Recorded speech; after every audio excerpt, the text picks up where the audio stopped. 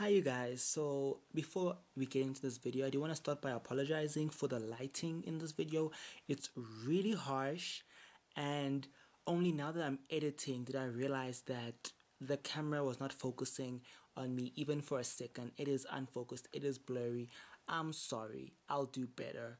Uh, if you prefer, you can listen to the audio podcast. Um, the link will be down below if you don't want to deal with the video quality. Otherwise, proceed with caution. You've been warned. But also, on a more serious note, I do want to note, um, put a content warning, trigger warning, and say that in this video I do talk about abuse and gender based violence. And if at any point something is triggering to you, please um, feel free to click out. And yeah, without further ado, let's get into today's video.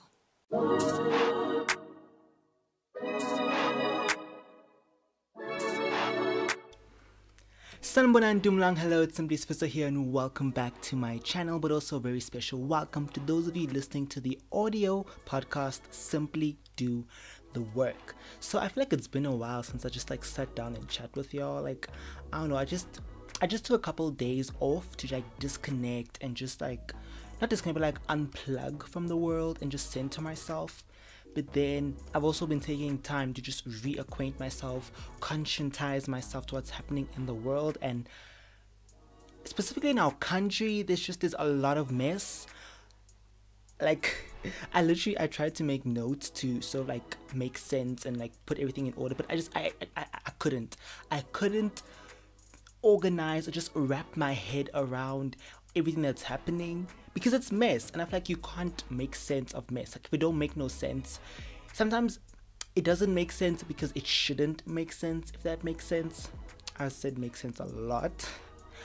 Um I think okay, before I get into this video, let's just get the admin, the housekeeping out of the way. If you're new to my channel and you're not yet subscribed, please do hit that subscribe button and the notification bell so you can be notified every time I upload a new video.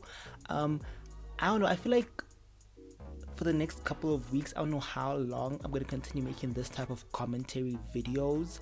Um, maybe you know a reaction might come soon or vlog might come soon. I don't know we'll see how i'm feeling but right now this is what we're doing. This is what we're doing. Um also if you're listening to the podcast depending on which platform you're listening on, please do subscribe, follow, and if possible, rate, review, and share the podcast.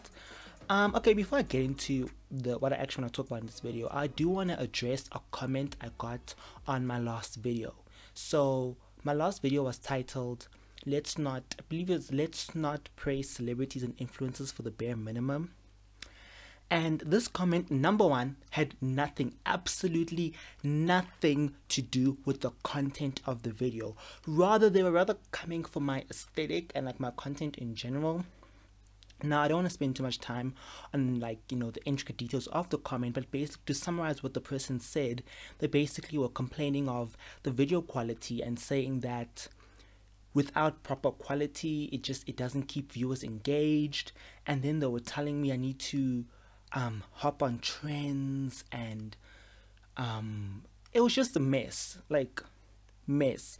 And what I do want to say is, first of all, if you don't like what you see, you're free to go, right?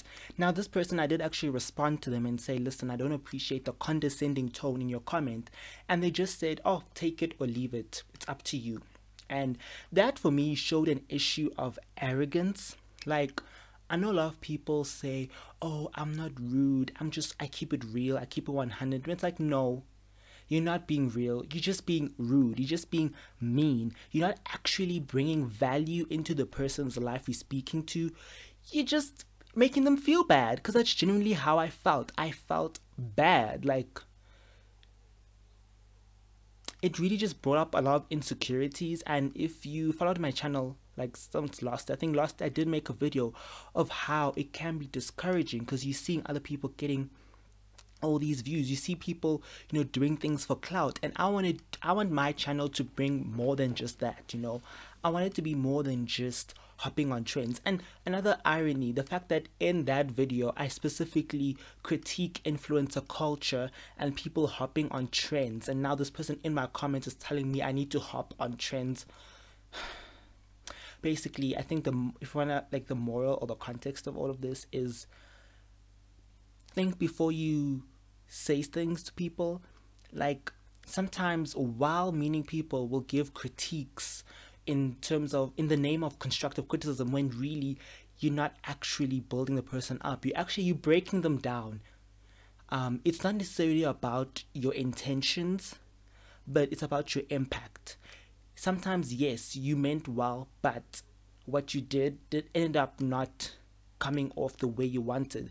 And so, also, if someone does correct you and say, "Hey, listen, you shouldn't be talking like this," or "Hey, I don't appreciate this," try to see it from their perspective. You know. Um, before you just yeah before you comment can you please just be respectful and kind and also read the room read the room. I feel like if that i got that comment on like a vlog or a reaction or some other random video i would have been fine. But now it's like sir we talk about serious issues here and you're gonna come at me for aesthetic aesthetic please. Like also another thing i find ironic is that the video before that i was speaking about finding my voice and being comfortable on the space and how youtube has really become a safe space for me to freely be myself. And then i get another video telling me no what you're doing is like like the video after the town comments and says stop what you're doing. It's a mess. It's just that was a messy um intro. Uh like how do i go from that into what i actually want to talk about for this video slash podcast. Um, so about two weeks ago, two weeks ago, it's yeah, the concept of space and time is kind of lost on me. But yeah, just over a week ago, I remember posting my WhatsApp status that the church's silence on black issues and black lives matter and what's happening right now is hurting my spirit like it really was affecting my spirit as someone who grew up in the church as someone who you know, holds Christian ideals close and dear to my heart. And to see churches either, you know, doing poor responses or not responding at all, like just ignoring as if it's not happening, it really, it, it, you know, those types of things really do a number on you and your faith. It really makes you question and like, like, how do I fit into all of this, you know? And by the grace of God, you know, one of the churches that I'm involved in actually, you know, they dedicated a service, you know, speaking about it and they raised some valid points. Like, I can literally show these are all the notes. Y'all can't see nothing. If you're watching the video, you can't see. Um, y'all can probably hear those pages doing the things because this microphone is so sensitive. Anyway, um, yeah, so they spoke about it and, you know, they also raised some really compelling arguments and issues, you know, because I was listening to a podcast the other day. God God is Grey, the podcast. Check it out. Check out her YouTube channel, God is Grey. Highly recommend. And one of the guests on the podcast said, as a Christian, you can't just take the love, the power, the mercy, and the grace that you get from Jesus Christ, but negate all the harm that the church as an institution has caused the homophobia, the sexism, the racism. You know, if you think of in terms of how Christianity came to the continent of Africa through colonization, through slave trading, and how that narrative has sort of been twisted into this white savior. You know, a lot of times when you read about colonization, they'll say things like, "Oh yeah, we brought um they brought civilization into these communities." It's like um, or they'll say stuff like, they discovered Africa or they discovered the Americas. It's like you can't discover a place where people were already living, where a society was already established with its own principles and values. This narrative of a white savior that has been basically ingrained and fluidly allowed to exist within not only the context of history but even in today, it needs to stop because we need to understand that lives were destroyed. Till today, we are still suffering because of what what began generations, hundreds, if not thousands of years ago. And where I'm going with this is basically it now okay, let me just say before I carry on any further, I'm not questioning God. I'm not this isn't me attacking religion or spirituality, but rather it's me you know, I was confronted with this of the church how do I say this? The church and Christians a lot of the time seem more concerned with the death of Jesus and what it means for their souls and the afterlife. And they don't pay attention to how Jesus lived while he was still on earth. If you look, um, the church likes speaking about let's be anti-cultural or we need to be countercultural or we're not from this world but we're in this world and you know that is all true but i feel like the problem isn't necessarily the messaging although church does have some toxic messaging, but that's a different conversation. But rather the approach, you know, if you want to be spreading the love of Jesus, then if I, as a black person, walk into a white church, I shouldn't feel uncomfortable because that has happened. Okay, now I'm I'm speaking as someone who has existed in different church spheres or different sect, different denominations. That's that's that's terminology, I guess. different denominations um, I've been in multiracial, I've been in, you know, black only. I've also been in churches where I was one of few white people, and trust me, it's sometimes you in those situations you feel like you're black first and a Christian after. It's almost as if the love of Jesus applies to everyone in the room except for you. And even if you just look at the like in terms of the messaging, you know, growing up, I was seeing images of a white Jesus. A lot of the animated or even real life action um, stories, Bible stories, and they were made into movies, featured white characters. Like there are people today who genuinely believe that Jesus was white. They believe that as a fact. And thing is, if you're white, that messaging is not problematic to you at all. It's like, oh yeah, Jesus looks like me. He came to die for me. It all makes sense. But if you look like me, and you're getting that messaging, it's sort of it goes back to how the constant messaging that we're given, which is wrong, by the way, like we should not be subscribing to this, is that whiteness is equal to betterness. You know, that is why white people felt entitled to colonize. They felt entitled to take black people as slaves to basically, you know, exert power on these people because they saw themselves and some do still see themselves as better than. And girl, this has gone so all over the place. Like I keep saying, and the point, the point, but I don't get to the point. I think, you know, if you're a Christian, I feel like churches, this is the time, this is the area where we need to rise up and stand. Because if you look at G, another thing, Jesus, one of the reasons why, if you look at the context of you know what Jesus came to do when he was here on earth and you know his entire life story in terms of the historical context Jesus was crucified for creating political unrest. Jesus was literally shaking the table for the socio political climate of the time. Jesus was mixing with Gentiles, you know, Gentiles being non Jews. Jesus was talking to women as if they were actually people and not property. And that's actually a point I want to get to later on in this. Jesus, you know, there are people who are against protesting, but forgetting that there is literally a verse where Jesus basically, you could say, ransacked the church, for lack of better words. Please don't take everything I say like verbatim, take it with a grain of salt, because there's only so much I can, you know, discuss in this type of setting.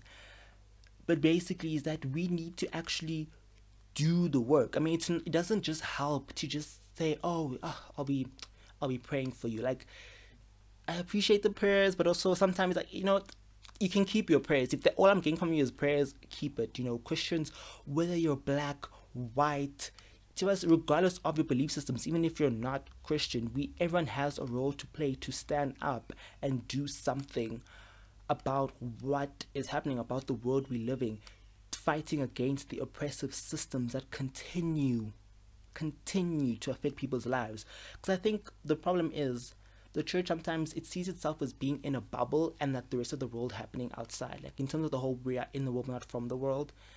Not realizing that the social political climate of the world determines or it does have an impact on religious spheres or within a religious context within the institution. And things until churches and Christians and congregants and leaders come to terms with the issues, how the social political climate affects the inner workings of the church, then it also won't be possible for them to go out and to actually spread the love of Jesus, which is actually, you know, it isn't about just, you know, all of us secluding ourselves and segregating ourselves, which is what you see in a lot of churches. But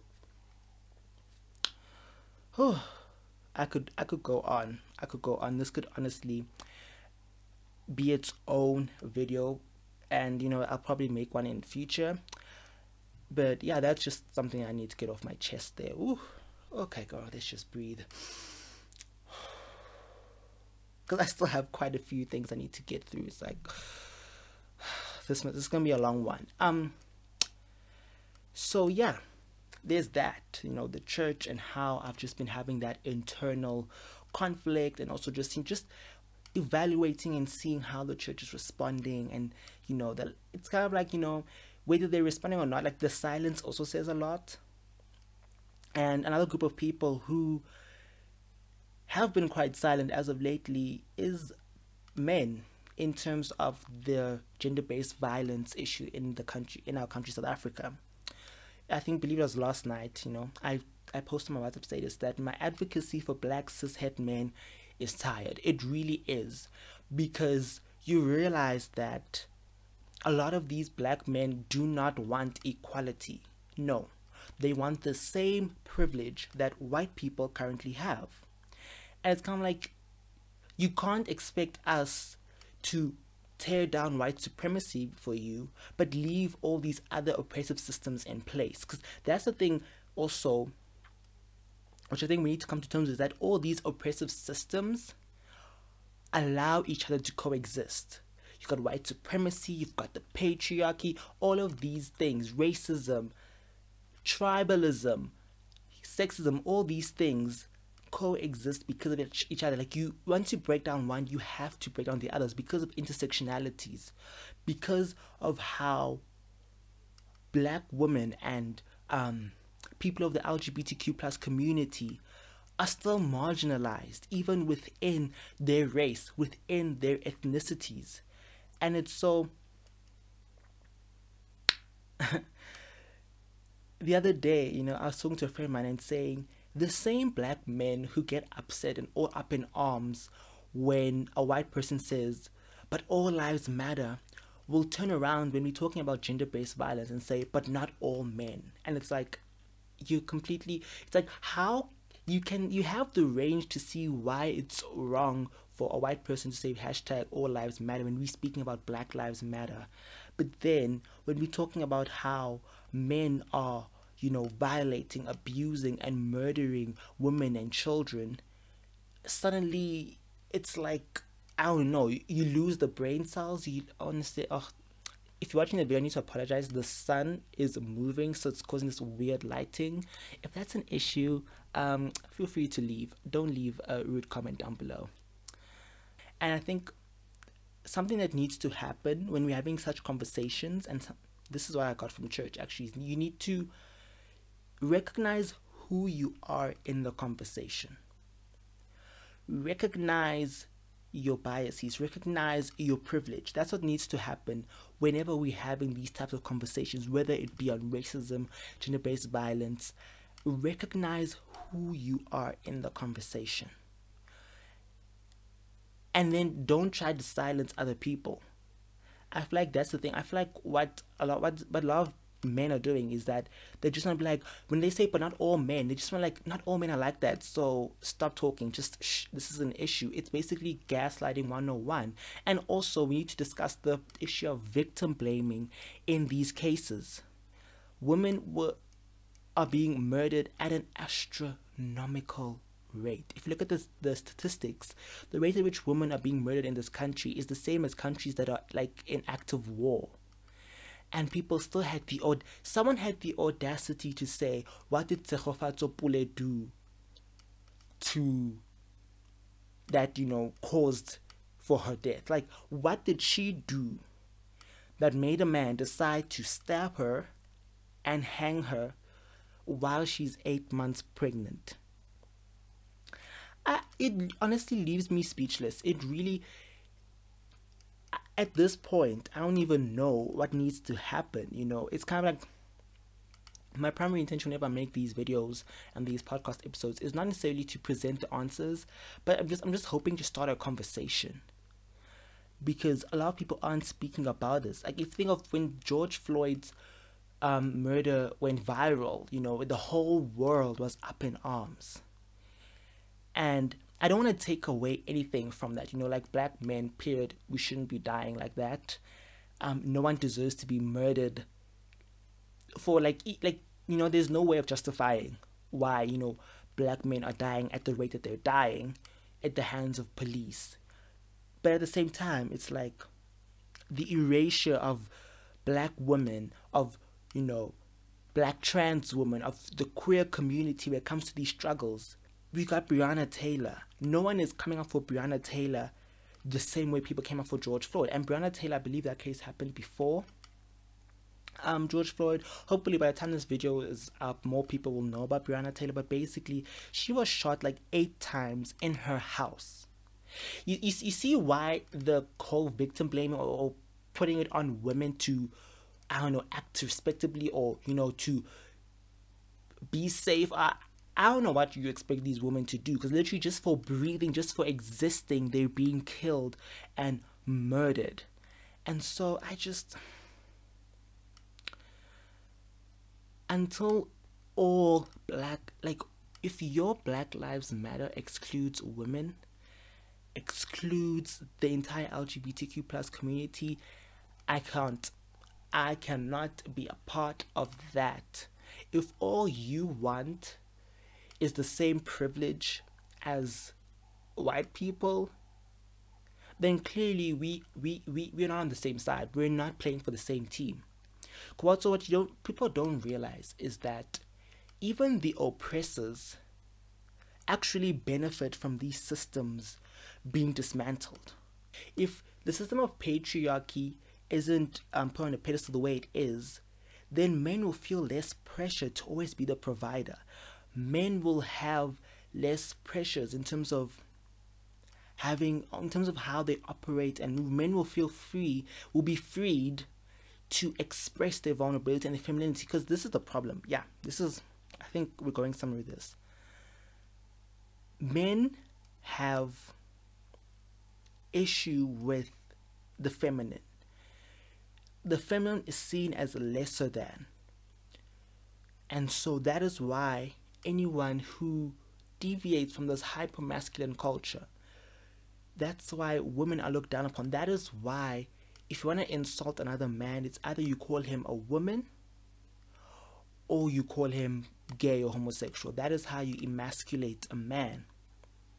Basically, no one should see themselves as better or superior to another, whether it be because of race, whether it be because of their gender, or even tribe. Tribalism is a major issue here in South Africa, and to us all of Africa. It's not even not even unique. I'm sure all over the world and the apartheid ne, apartheid here in South Africa also heavily contributed to that. You know, before there was racism, there was tribalism, and if you think about it, how the apartheid government segregated people not only by their skin color or their race or their ethnicity, but also according to tribes. How you find, for example, KwaZulu Natal has a lot of Zulu speaking people. Um, the Eastern Cape is Xhosa dominated. You know, you've got Sotho dominated areas. And so it created this unrest between black people, which they fed on, which was kind of what they, it's basically the whole system of categorizing people, putting them on a hierarchy and saying, okay, I'm better than you because of this and that. And it's also why if we also want to, you know, dismantle the systems of racism and white supremacy, we also need to talk about the issues of tribalism. Now, the reason why I also actually bring this up is because of, excuse me, a tweet that someone made that was based, that was very offensive and rude to Venda speaking people, to the Venda tribe. And the most mind boggling thing to me is there are people who did not see the issue in that. There are people who said that joke is funny how is it funny to call an already marginalized a minority group unnecessary. Look, I get it. There are certain jokes. It's like that's the thing with jokes. There is a thin line. There is that line between it being funny and just being rude. And the thing is, if we have to now explain to people this is this is the mind-boggling point to me. It's like why do I have to literally explain and break down to you why this is offensive or why this is problematic or why we shouldn't be saying this? That is the issue, and that's kind of why I find myself at a loss for words. Like literally, this entire video is kind of like why do I need to? Why does need to be explained to people? To me, it almost it's kind of like it makes sense. Kind of like okay, racism. Oh, okay, but look, we also got the issues of tribalism also the patriarchy, you know, gender-based violence, like all these issues, how they all intersect and how they, you know, affect different people differently. And the problem is, I feel like we're more interested in creating this false sense of unity. And the thing is, unless we actually are brave enough to have these conversations, to actually tell the truth as it is, because what happened, what, you know what ends up happening is we have this false sense of unity, this false sense of security, and then a crisis happens. Death, the death of George Floyd, um, women and children continually being murdered and abused, people tweeting these offensive remarks, you know, all of these crises happening. And that's when the false unity, that's when it shatters. Because that's when we clearly see the lines of, the, that's when lines of us versus them get bold. That's when it becomes evident that no, no, we're not equal. Because that's the thing. I feel like people just want to automatically just wake up and press the equality button and we're done. Without actually doing the work. That's also kind of why like the podcast's name simply do the work because I feel like yeah we we we we spend time having you know you spend time just being like oh but guys um let's just not focus on things that divide us but let's focus on what brings us together. And you have people living there are genuinely people who like I didn't realize this until now but people genuinely living in a post-racial world. People genuinely living people think oh no I'm not racist I'm not sexist I'm not homophobic so I'm good you know. It's those people who be like but oh, not all men like you find you know it's the nice guy who's like oh but i don't do any of that. But it's like okay but yeah you don't do any of that. But you do realize that in your silence in your complacency you are actually feeding into those systems. And that is the that is the point that we're trying to get across to people that just it's kind of like how when black people say just being not racist is enough, you have to be anti racist, but then black men can't see how that applies to other issues. It's just, it is mind boggling. I'm I'm genuinely at a loss for words because I just feel like everything is just it's mess upon mess upon mess. Every single day I open Twitter, I check my timeline, I'm just seeing more mess. And I think the problem is now a lot of us we we we, we we've gotten desensitized. It's become normalized. I think maybe that's why we end up having to literally break it down to people. Because to them it's like but isn't this the way it's always been and it's kind of like why are we settling for the way things are when this isn't the way things are supposed to be in the church in our everyday lives in our family dynamics why are we settling for this when things not only can be better they should be better they have to be better like we can't just settle for any of this. Like, oh, I've gotten all riled up and I've currently been recording for like almost 30 minutes, so I'm at a loss for words. I I am genuinely at a loss for words, you guys. Um I don't know how to end this. And you know what? I shouldn't have to end this. This isn't the end. It might be the end of this video, it might be the end of this podcast, but this is just the beginning. You know, the other day I was actually thinking to myself because there was a week where I thought I just I was I was like, oh, so aren't you doing too much with all of you know all the petitions you're posting, all of the uh, quotes and tweets and whatever? And then I just felt a voice in me saying, no, you're not doing too much. You're not doing enough. To be honest, even if I did more than I could, it seemed as if nothing I ever do will be enough. But I'm not gonna settle for that because if each and every person listening to this, each and every person on this planet did what they could, did what they should, we could make some real change. And that is why just being complacent and settling cannot be for me. Nope, sorry. Another thing, oh yeah, okay, this is, I've been saying I want to end this, but this is something I want to talk about. I feel like while you're still alive, people don't care for you. Like there are people who who literally call George Floyd a sacrificial lamb.